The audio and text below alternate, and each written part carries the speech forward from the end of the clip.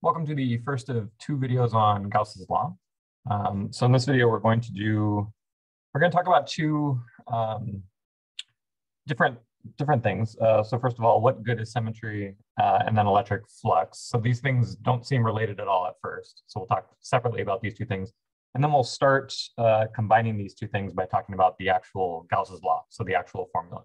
We'll basically end this video there and then pick it up again in the next video where we again, talk about Gauss's law, the formula, and then get to this stuff. This will be next video, uh, applications of Gauss's law, and then how Gauss's law applies to conductors. So the first of those two unrelated things was symmetry. Uh, so Gauss's law will be useful in cases where the charge distribution is symmetric, and that can mean a lot of different things. Your book uh, mentions some of the types of symmetry. Uh, so as an example, imagine you had an infinite line of charge. So here we just draw a section of a, of a line charge, but really this is infinitely long. And if that's true, you can think about some restrictions on the form that the electric field can take. So for example, your book's trying to explain why this electric field would be impossible. Uh, and so what they're asking you to do is think about uh, a reflection about a vertical uh, plane that is, so it's going vertical and it's also passing through the screen. So, so that's what this, this dotted line is right here. So if you were to reflect everything about that, the charge distribution doesn't change. So like this piece of the rod will go to over here and vice versa. But that doesn't actually change the rod because it's infinitely long. So we say that the charge distribution has a reflection symmetry about this reflection plane. Um, but if you imagine doing that to the electric field, then the electric this electric field vector would go to over here. And this is a contradiction, you know, does the electric field point this way or does it point up and to the left?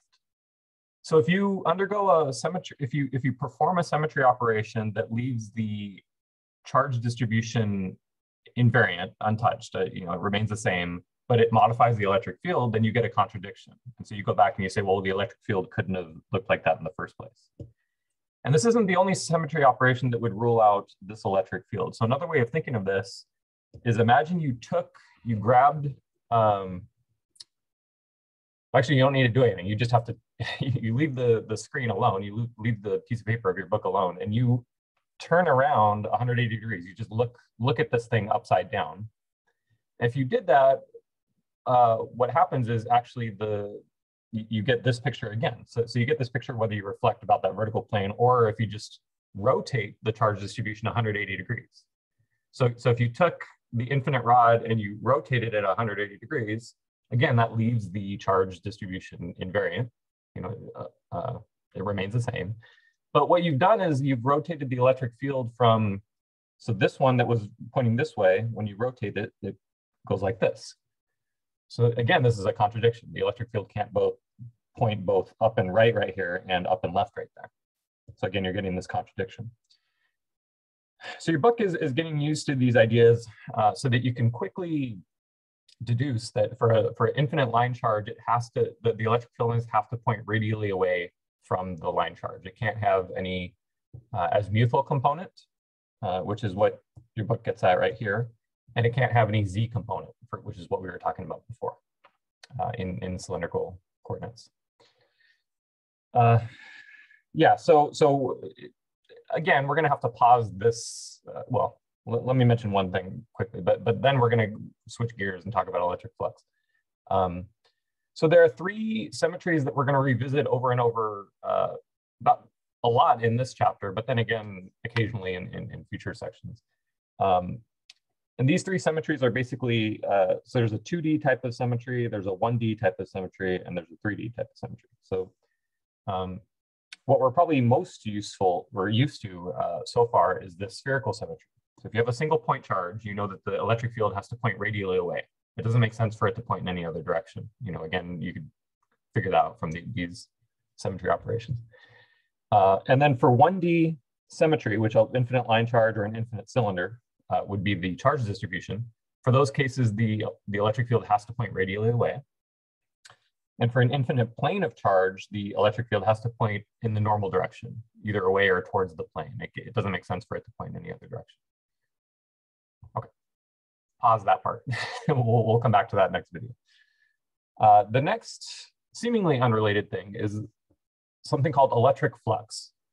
And what flux is, is how much, it's, it's keeping track of how much electric field, how much E field uh, passes through a surface. Passes through a surface. That's basically the idea here. We're trying to quantify this. Um, so, um, so there are a couple things here. So uh, let me hold off on the closed surfaces. Uh, let me come back. Let me let me go to calculating electric flux first, and then so I'm actually going to do this section, and then I'll go back to 24.2. Um, so notice how like in this picture, the electric field is passing straight through the hoop, and there is electric flux. There's a non-zero value of electric flux for figure A. For figure B, though, there's a surface. There's this loop that's that has uh, the loop is parallel to the electric field. The, the loop is like in this plane and the electric field is just kind of passing alongside, but it's not, the electric field isn't actually passing through the loop. So we say that the flux is zero for this one. So the flux, we use this symbol, it's a capital phi, another one, another Greek letter.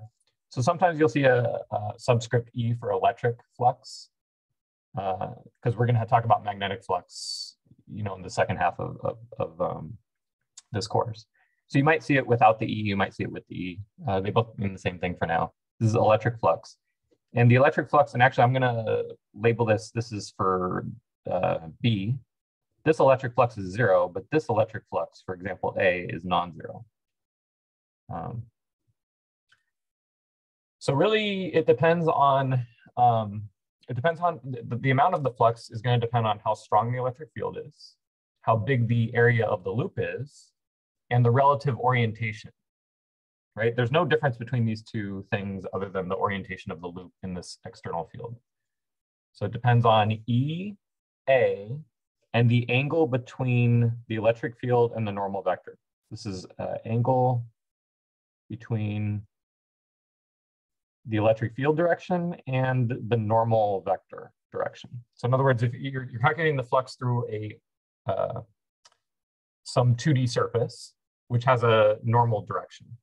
Right? It has two normal directions, but the it doesn't matter which one you choose for this cosine theta, at least for open surfaces. But I, that's a, that's another issue that I want to come back to Um, so for this, like this right here, the normal direction is this way, the electric field direction is this way. Uh, and so these two vectors are perpendicular to each other and cosine of 90 degrees is zero, which is which explains why the, the flux is zero right there. So calculating the electric flux, you can use uh, these formulas right here, and it's equivalent to this. So the dot product between two, two vectors is the magnitude of one times the magnitude of the other, times the cosine of the angle between those two vectors. And then this is an example going over, going over that. Going back to the previous section, um, there's, there's an additional thing we want you to know about flux. Uh, okay, so, so, so another thing um, has to do with closed surfaces. So what's the difference between an open surface and a closed surface? It, it all has to do with whether the surface encloses a volume or not. So think about, if you have a surface, think about, is there an inside and an outside? If there is an inside and an outside, then you have a closed surface. So these boxes right here look like they're closed surfaces. The previous, this loop right here, there was no inside or outside, right? It, was like a sheet of paper. It's not separating the world into two pieces inside and outside. So that would be an open surface. Gauss's law, when we get to it, is going to be a statement about closed surfaces. So we're going to focus more so on closed surfaces. And for a closed surface, when you choose the normal direction to us to your surface, to part of this, so like for the box, you can imagine calculating the flux for all six sides separately. And then the total flux would be the, the sum of those six. For each of those, there's a unique normal vector direction that points out of the box. So you have so for a closed surface, you're going to choose the normal vector to point out of the box. Any electric field that's going out of your closed surface is going to be a positive flux, and any electric field that's entering your closed surface is a negative flux. So now we can start to ascribe uh, meaning to the sign of the flux. And what this picture is trying to get at is that, well, it looks like, okay, so here it looks like there's a positive flux this one, it looks like there's a negative flux, and here it looks like there's no overall flux. There's a positive flux for this part, this side, there's a negative flux for this side, and it looks like they could cancel out. So positive, negative, or zero flux, and that's going to be related to the fact that there's an overall positive charge here. There's an overall negative charge inside the this box, and there's no charge in here. And this is, in essence, what Gauss's law is all about. It relates the net charge inside a closed surface to the amount of flux that's going through the closed surface that's on the boundary between the inside and the outside. So these surfaces don't have to be physical things. There doesn't actually have to be a box there. You can imagine a box surrounding a charge. It, it can be an imaginary surface, and we give a name to this. It's called a Gaussian surface. So not necessarily, it could be a real thing, but it doesn't have to be. So real or imaginary surface is Gaussian surface. And a lot of times in pictures, we're drawing closed surfaces. They're 2D surfaces uh, in a three-dimensional space, but that's hard to draw. So a lot of times you'll see a picture like this, but you have to remember that this is like a spherical shell in three dimensions, and we can only draw a two-dimensional cross-section or slice of this. So keep in mind, you're gonna see pictures like this that actually could better be depicted this way. It's a lot harder to draw, I can't draw. Um, so that's the gist of those two sections. And then, um, oh, so as long as the, um, so this E dot A is, makes sense as long as that, that uh, um, surface is flat. If the surface is curved, you have to split it up into a bunch of tiny pieces that are infinitesimally flat. So even if you have a sphere, you can break the sphere up into infinitely many pieces that locally look like flat planes and locally have a well-defined normal vector. Uh, and that's that's the point of this equation right here, that you can actually calculate electric flux as an integral of E dot dA, where each small piece of, of, of area is locally flat and has a well-defined normal vector that you can do E dot dA with. Okay, um, the last piece is combining these two things, Gauss's law. Well, we'll talk more about symmetry uh, next video. But Gauss's law is the statement that I made before that, and let me skip to the, the conclusion here. So they're just motivating the main result, but the main result is right here.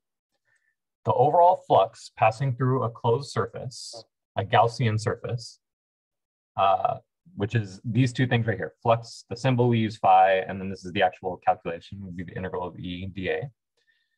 The flux that passes through a closed surface is equal to the, the net enclosed charge. This is the net charge inside our surface divided by this constant, the permittivity of free space.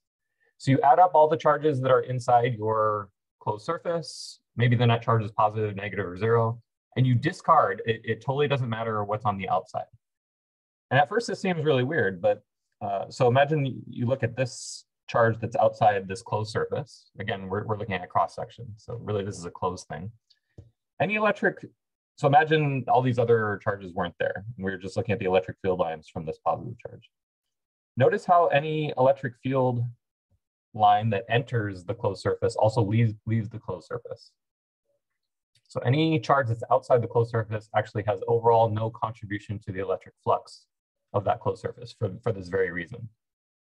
So this is kind of a pictorial proof, but uh, there exists more quantitative ways of, of, going about proving this. But any negative flux that appears right here uh, is going to be made up with a positive flux right there, and those two will exactly cancel. Uh, and even when you sum over the whole the whole thing, this, this will cancel for that that charge that's on the outside. So right now, um, so, so uh, you know, th this is everything that's inside the, the surface, all the charges that are inside is related to what's going on on the boundary um, of, of that surface. So this is in essence of what's going on with Gauss's law. This, this stuff is on the boundary, the stuff that circled. And then the, on the right-hand side of the equation, that's what's on the inside. So there's actually a vector calculus statement. It's related to the divergence theorem. There's, there's a whole bunch surrounding this. We're going to use this result in the next video to calculate some electric fields. So, so we'll, we'll pick up more on this uh, next time. For the example problem I want to go over today, I'm imagining a hemispherical bowl that's closed. So now we know what open versus closed is. So we're imagining a closed surface. So there's an inside and outside. In other words, this bowl is capped off. And there's a uniform electric field passing through this hemispherical bowl. What's the net flux through the bowl? Well, it has to be zero. So why is that? So the flux, the electric flux is uh, by Gauss's law, this is the enclosed charge, this, the net charge that's inside divided by epsilon naught. And here, there's no reference made to any charges, but we know there aren't any charges in there. And the reason for that is that this we have the, a uniform field. And if there were any charges in there, it would mess up the, the fact that there's a uniform field. So we could have been told, you know, there are no charges inside, but it's kind of, it's implied from the fact that there's a, there's a uniform electric field passing through it. So there's no charges here. This is zero over epsilon naught. So there's no net flux. So what this is saying that any uh, negative flux that's right here, so there, there's a flat side to the hemispherical bowl. That's where there's electric field lines entering it. There's a negative flux there. And then there's a positive flux from all of the uh, from all the electric field lines piercing through the curved part of the hemispherical bowl. And those two will exactly cancel each other out. They have to in order to satisfy Gauss's law. We can use that fact to solve for actually the flux just through the curved part. So the flux through the curved part, um, flux through the curved part is positive, and the flux through the flat part is negative, but they're equal in magnitude. Right? Notice how all of stuff that's entering, all the flux that's entering the bowl is through the flat part and all the stuff that's leaving is through the curved part. So these two are actually equal, this through the uh, flat part. And the reason this is useful to us is because the flux through the flat part is a lot easier to calculate using our definition of uh, electric flux. So the flux through the flat portion is going to be the electric field dot, dotted in with the area of the flat portion. Um, and we're going to take the absolute value sign here. So really that, that dot product, E is pointing to the right in this picture, and A, remember it's the outward normal, A, this, this normal vector would be to the left. And so E dot A would be a negative quantity. But remember, we're taking the absolute value here. Just, just saying that these two are equal in magnitude. Um, so this is going to be you know, the, these, the, the, angle between them is 180 degrees, cosine 180 degrees is negative one. There's no, the flux is going straight through this, this open portion. So we can actually just take the magnitude of the electric field and the magnitude of the area of that open surface. So this is going to be E naught times pi r squared, right? It's just the area of this circle right there. We're not, we're not, we're not focusing right now on the curved portion. We're not focusing on the hemispherical bowl portion at all. So actually this is the, this is the flux. Uh, this is that, that, well, this is the magnitude of the, the flux through either the flat portion or the, the curved portion. And so from this, we can uh, say that the flux through the curved portion is this quantity and positive. Remember, the electric field lines are escaping through the curved portion. And then the electric flux through the flat portion is actually this but negative, minus E naught pi r squared. And then the flux, the net flux through the whole closed surface is the sum of those two things, which we knew had to be zero just from Gauss's law. Okay, lots more example problems uh, in lecture and in the next video, but uh, that'll be it for now.